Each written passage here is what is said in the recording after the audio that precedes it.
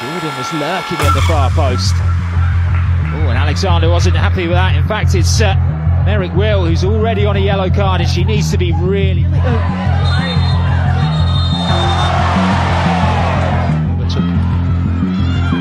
Snappy challenges in there.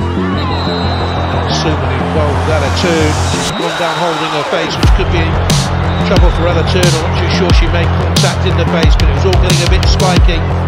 She raised her hands and caught Superman in the face. She has to go. fighting for the balls. Rock the tackle there by Josie Green. Mayling is possessed, and then Sarah Mayling with uh, something that looks more like a rugby challenge. Then the altercation continues between Mayling and Sissoko. Been superb here tonight.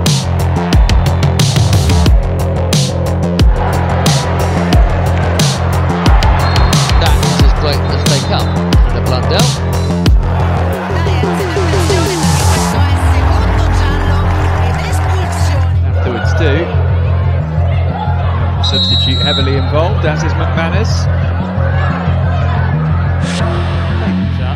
Master Antonio in there looking for the ball. Bit of push and shove. She might find herself in a little bit of trouble here, Emma Ralston.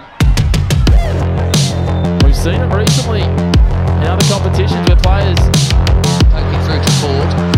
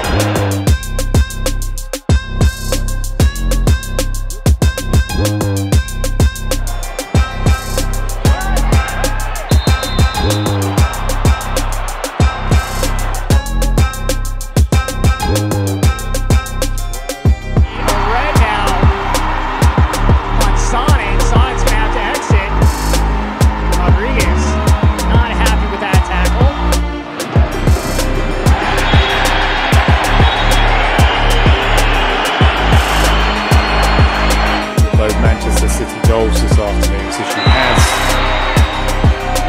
cut into Davis. That's a big thing about this venue is the wind. It's very um, swirling around this ground as there's a yellow card you can see there. potenziale per la Fiorentina che brutto intervento qui da parte di Drexler arrivati a Rossi Without a pilot right now as well. And this between Weaver and Edmonds bubbling over.